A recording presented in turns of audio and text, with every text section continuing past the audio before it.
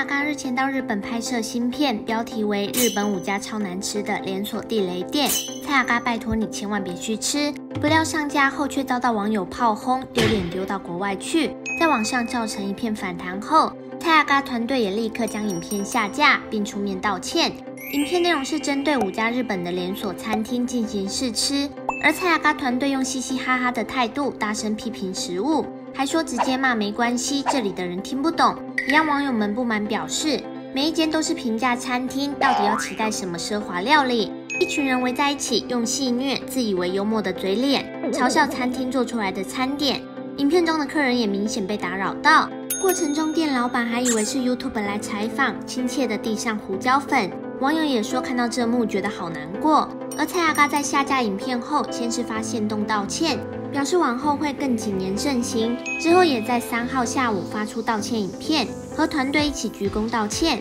并提出未来在影片上的五点改善方案。坦诚这次在拍摄上的确有疏忽，影响用路人行径，多人共识冒犯了日本文化。拍摄过程在餐厅大声喧哗。以及评论食物态度嘲讽轻蔑等等，再次向餐厅及路人还有观感不佳的网友们进行道歉。这边也跟呃有造成困扰的店家在这边跟大家说声不好意思，那也非常谢谢大家给我们的一些建议，我们都有听到，谢谢你们。